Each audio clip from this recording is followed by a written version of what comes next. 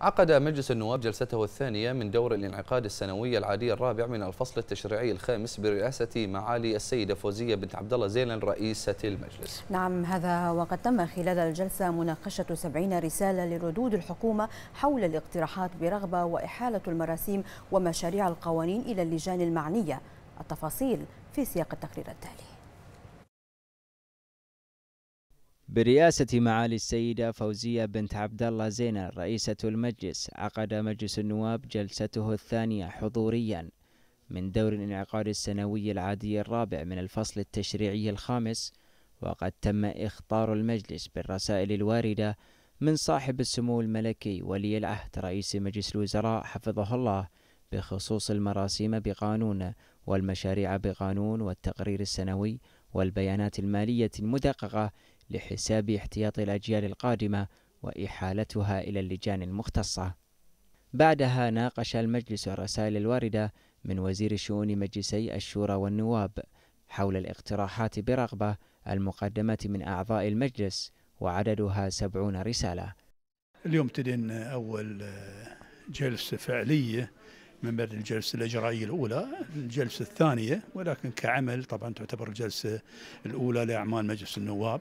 الاقتراحات النواب طبعا كما بينوا بعض الأخوة النواب هي انعكاس لمطالب الناس لحاجة الناس وهذا الأمر مؤتمن عليه الأخوة والأخوات النواب حسب تصنيف وزارتنا للردود أن 45 آه، رد من الردود كانت إيجابية بمعنى إما أن هذه إما موافقة على على طلب الرغبة أو أن الأمر هذا متحقق أو أنه آه، جاري تنفيذه أو هناك حلول بديلة للطلب الأصلي.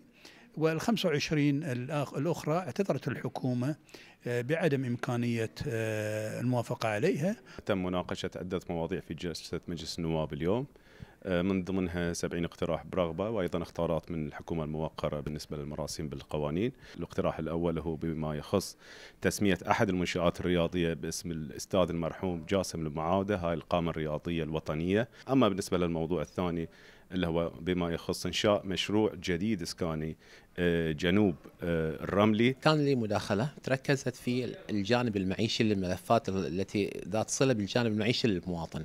اولا عن توطين البحرينيين في الوظائف في الشركات الخاصة اللي تملكها الحكومة أو الحكومة مساهمه في ملكيتها. تحدثنا أيضا عن علاوة المواصلات علاوة التنقل لدى موظف الحكومة. الآن مع ازدياد تعرفة البنزين نطالب أن تزداد أيضا علاوة اللي هو المواصلات. أيضا تكلمنا عن دعم فواتير الكهرباء، دعم فواتير الكهرباء سواء لفئات آه، اللي هو الخاصه احتياجات الخاصة، الجمعيات الاحتياجات الخاصة أو أيضا بعض المواطنين انه يكون في دعم وفي آه، إعفائهم عن هذه اللي هو تعرفة الكهرباء. وقد وافق المجلس على الاقتراح برغبة والمقدم بصفة الاستعجال بشأن إلقاء أو نقل مكان فعالية سوق الهند الصغيرة والمزمع إقامتها في العاصمة المنامة بتنظيم من هيئة البحرين للثقافة والآثار وإحالة المقترح إلى الحكومة الموقرة.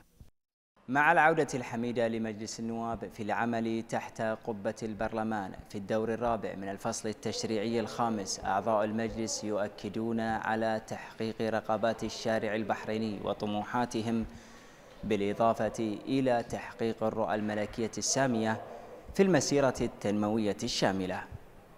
طلال نايف لمركز الأخبار تلفزيون البحرين.